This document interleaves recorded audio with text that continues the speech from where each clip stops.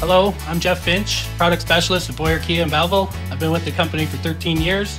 Uh, we're moving into greener pastures with uh, electric cars. If you're looking to uh, get one, come and see me.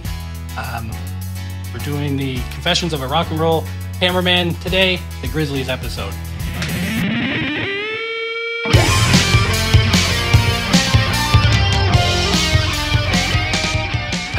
Welcome to another exciting episode of Confessions of a Rock and Roll Cameraman. Today we are talking all things Grizzly and Canada. I'm your host, Pat Canavan, and to my left is, well, he's not a rock and roll cameraman in this one. You're a grizzly hunting cameraman in this one. Yeah, uh, grizzly, but hunting with my camera. And that's, Qualify that. and let me qualify your name, Tony Wanamaker. Thank you, Pat. As you can see now, rolling under his name, the name. Uh, so, Tony, Project Grizzly is a complete departure from rock and roll, guitar playing heroes, and you're hired by a guy by the name of Peter Lynch, I understand. Yeah, yeah. And he's a he's a Canadian. Well, he's an independent sort of Canadian uh, filmmaker. Yeah, he's uh, one of Canada's best directors, and uh, yeah, the project I worked on with uh, with Peter and a number of other projects. So Yeah, we have I- been I- doing. Yeah. I wanted to know how how, Yeah. how it is that you got to know him. Well, I met him. He was producing a thing called Video Culture Festivals. That's how I first met him. And Oh, uh, okay. I was there on assignment with new music with the JD Roberts. We met, and we felt a chemistry immediately. It was a good kinship. Oh, terrific, And that yeah. just kept rolling. So it was a great pairing between director and DOP. And Peter had a lot of balls because as a director, he allowed me to be creative. So he would give me some parameters, uh, Pat, some ideas of how he might want to photograph something, then allow me to create, allow me to be a DOP. Yeah, that's It's great. important. Yeah, it's very important because a lot of directors are very hands-on, and this is you know you just fulfill my shots. Yeah, and I'm not really a point and shoot kind of guy. And you know that, and Yeah. I like to get involved and like to get into the creative, and that's just who I am. That's my idiosyncrasy, man. yeah, Right? yeah. Yeah. So so tell me about so tell me about the process. So yeah, long story that we were doing a number of spots, and then one day uh, Peter came to me and said, "Hey, I found this this terrific quixotic character, a guy named Troy James Hurtubise, and." Yeah, we're gonna make a movie, and I went, "What?" And he goes, "Yeah." And uh, this isn't his book, but this is something that that Troy had written. Right? He's kind of a naive writer, tons of mistakes in there, but you know his heart's in it, that's for sure. And his book called White Tape was in it, and that book morphed into a project called Project Grizzly, folks. And uh, Peter and I shot this movie. I shot this uh, Super 16, as a matter of fact, and I'll tell you why in a second. But that became uh, one of the top 10 Canadian films of all time. And I'm proud that uh, that my name is on it right there, and you'll see it, right? Boom. And that's kind of cool. All right. Um, yeah, Quentin Tarantino, and you kind of know him. Yeah, He said it's one of his top 10 films. really? Eh? Yeah, that was. Pro- I was woken up in the morning to read the Globe and Mail to find that that out. But nobody got shot. Well, almost. Okay. That's true. Now, I have seen the film. we did take you up into the Rocky Mountains, okay? So I was up in the Rocky Mountains, all right? You got to love this part of Canada. It's fantastic, Yeah. right? And I had to film a scene where uh, Troy was about to uh, to meet a grizzly bear. And he was going to now Elizabeth's going to give me a close up here. This is the Ursus Mark 8 suit I'm showing you. We were experimenting with the Ursus Mark 6, okay? So imagine, you know the movie RoboCop? yes. Come quietly, or there will be trouble. So he has his exoskeleton, okay, he makes, and he walks like Robby the robot. And he wants to have, he- the intention is for close quarter bear research. So he wants to get into a bear's den, he wants to get up and close and document what happens. Behold, the ultimate in anti-bear technology, the Bear Buster 5000.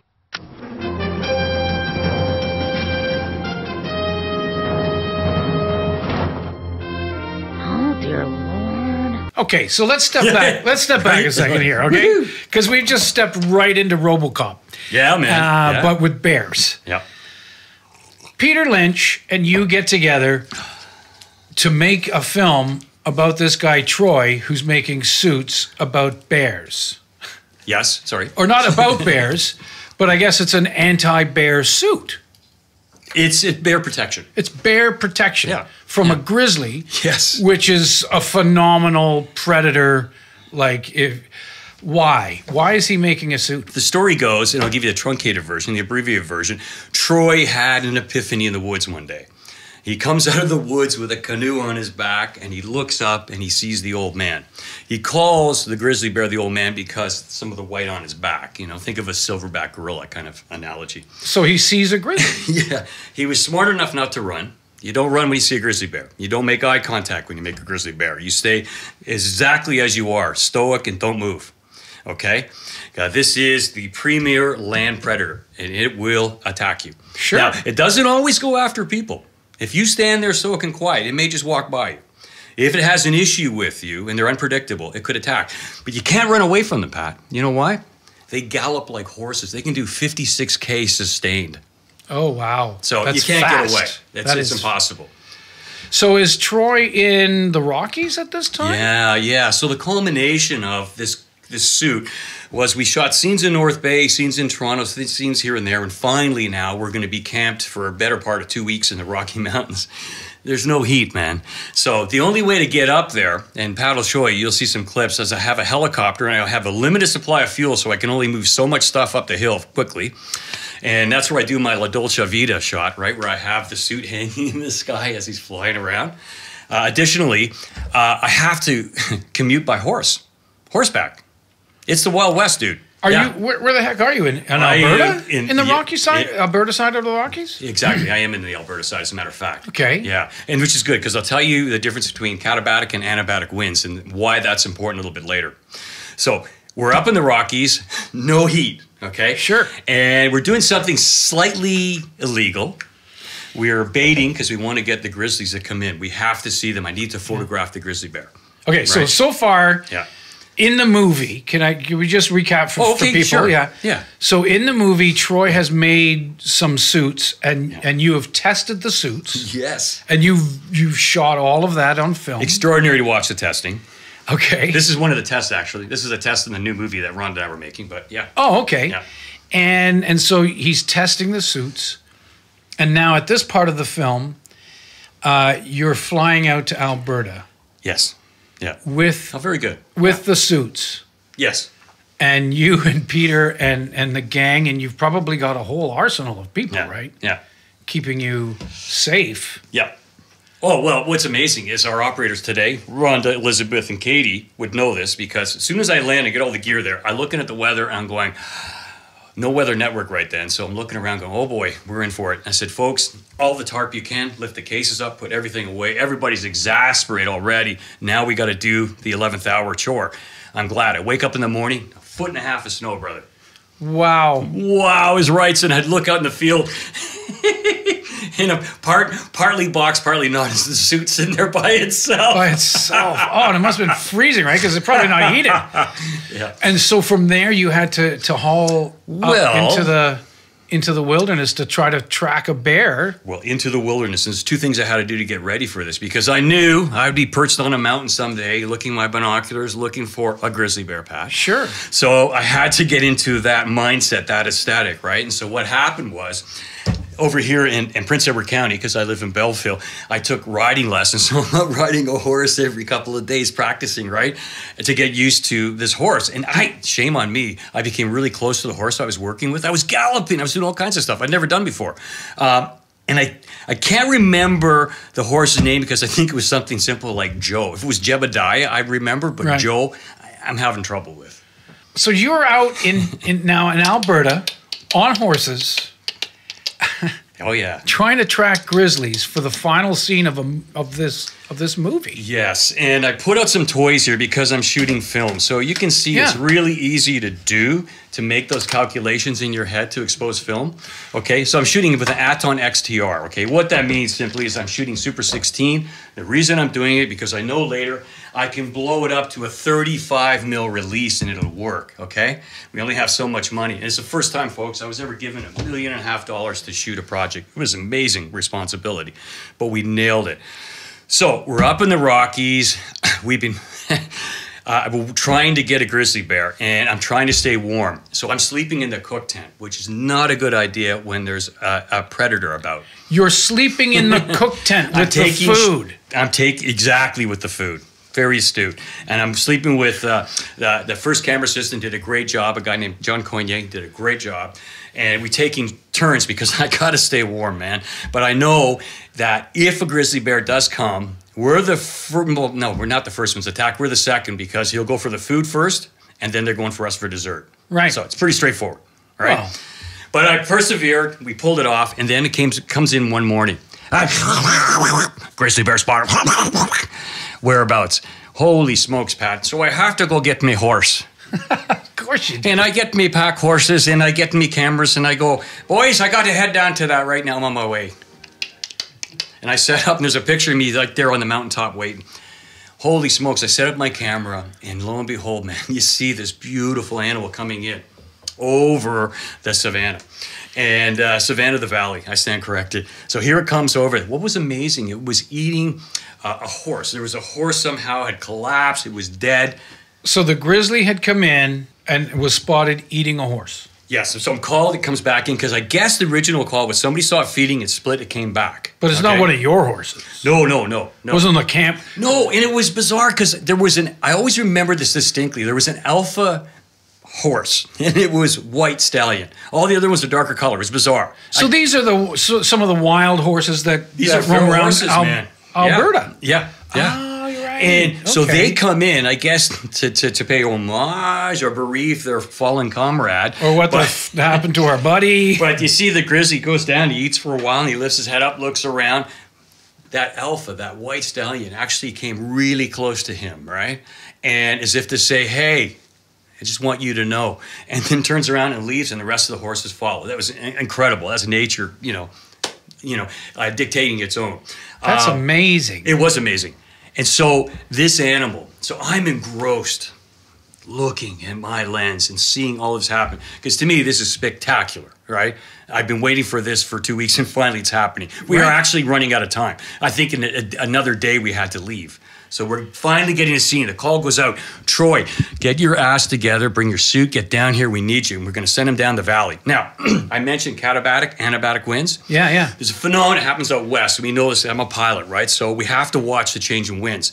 The katabatic, generally in valley, heats up, and the winds are going uh, down.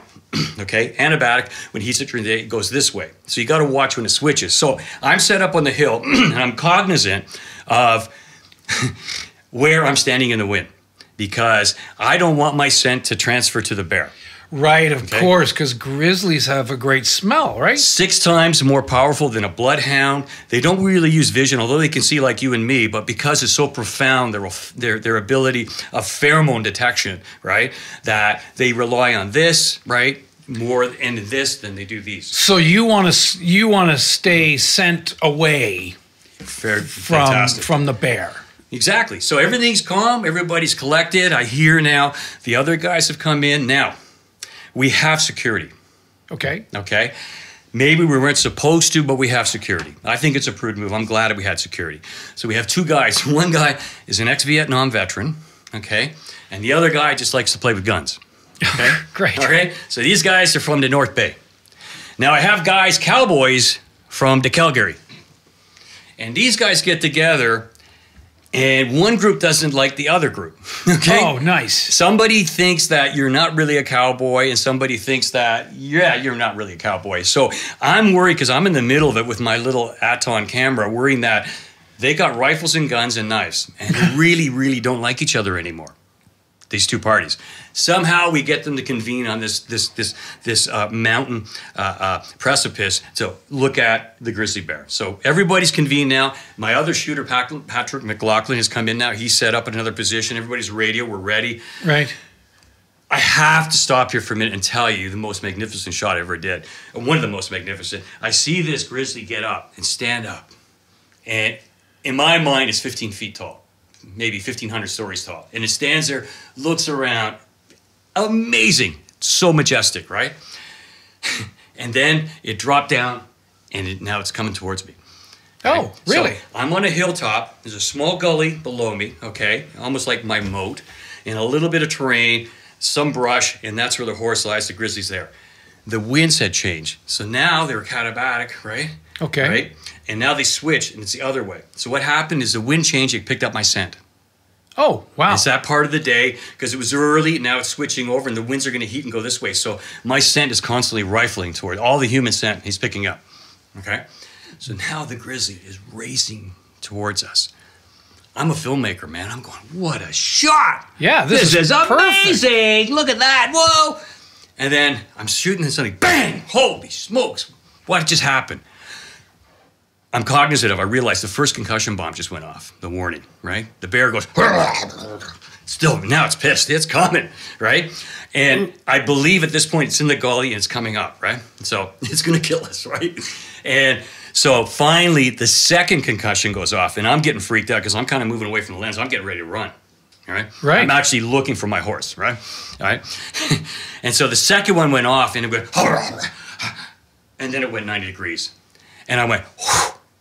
The Vietnam vet comes up to me and he says, "Hey, Tone," he says, "Whew, "That was getting close," and I went. I'm still excited beyond belief about what I just filmed well, sure. and and uh, and he goes, you know, I had I had I had it lined up, I was ready, but there's a problem, Tone. And I said, what's that? And he says, its skull is so thick, I don't know if it would have stopped it. Great. That's amazing. Here's a life jacket, but I'm not sure if it's a flotating device. but this this was this was a huge encounter with the grizzly for you. It was massive. It, and it was really exciting that that finally happened. Troy arrived late. I was suspicious. Troy had a lot of excuses that day. I would I wouldn't want to go up in front of a grizzly bear. And I think he purposely was sloving so that he didn't have to do it. He missed the opportunity. Uh, Troy is a quixotic character. If you know the story of Don Quixote, it Yeah, makes yeah, a lot yeah. of sense. And that's how I envision my good friend. Really? Uh, he was a lovely guy. Uh, years later, Pat, we uh, reconvened. And I, Ron and I tried to uh, launch a, a sequel movie, right, called The Bear Odyssey. And we're going to pick up on themes that uh, Peter Lynch did such a good job on, but it was time to, con- to, to tell the continuation of that story. Sure. His next Uh, and this is a picture of it. He was working in a suit called the Ursus Mark Six. This is the evolution, the Ursus Mark Eight. And the reason he, he calls it Ursus, Ursus is derived from the scientific name for grizzly bear, or what they call the North American brown bear, and that is uh, Ursus arctos uh, horribilis. Is the scientific name for the grizzly bear, right? wow. So years later, we worked another project, and sadly, you know, it's tough. You know this. In our business, there's highs and lows. Sure it can are. be really low if you're not used to it. So great things have happened. The movie was a massive success. As a matter of fact, in the Toronto Film Festival in 1996, I was so pleased that my film opened this festival. That festival. kind of a big deal. Yeah, sure is. Uh, and but that goes away. All things move on. Time has a way of, of moving forward. And uh, there was a dark period for a good friend Troy. You know, and uh, anyhow, a couple years ago, there was a terrible tragedy in North Bay. We lost him. Rest in peace, Troy Hurtubise.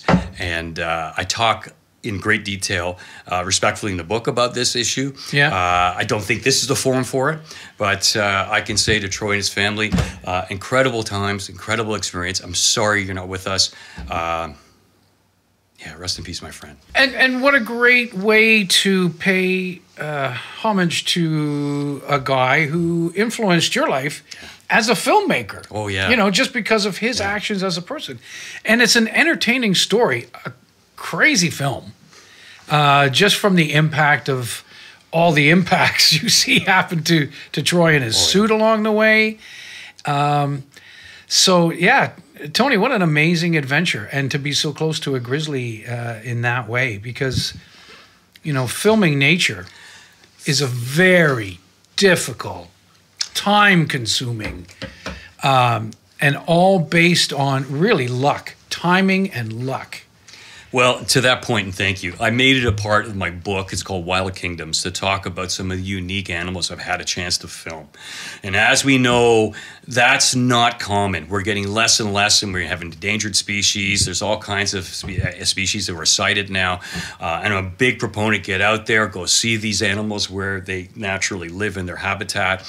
Uh, and it's really important to to talk about the other species on this planet and our interactivity because um, it's not so prolific anymore. Yeah, yeah, absolutely. We've pretty much taken all the ground. Yeah. Yeah. And later I'll be talking, we're going to talk in the future about when I was in Borneo with the orangutans and how unique that is and how desperate we are to save those animals. They there's only two islands they exist on. Yeah, I know. Well, Tony, on that happy note, oh, we just want to say thank you again for giving us a great opportunity uh, to see what it's like to be a filmmaker, to have great uh, in-depth conversations about people that you worked with who have impact in the Canadian film industry. Uh, certainly with Troy uh, trying to build a bear-proof suit. Yeah, amazing. You know, for Yeah. amazing. So I really want to say thanks to, to uh, you for that story, and I also want to say thanks to everybody tuning in. And if you would like to see more of us, and I hope you do, like and subscribe on YouTube, and also like and subscribe on our RSS feed podcasts on Apple Podcasts, Spotify, SoundCloud, Samsung, Google, and all the rest. And thanks to our local business representative Fantastic. They help us out a coming in from uh, Boyer uh, Kia today. Yeah, fantastic. And um, again, thank you, and we'll see you next time.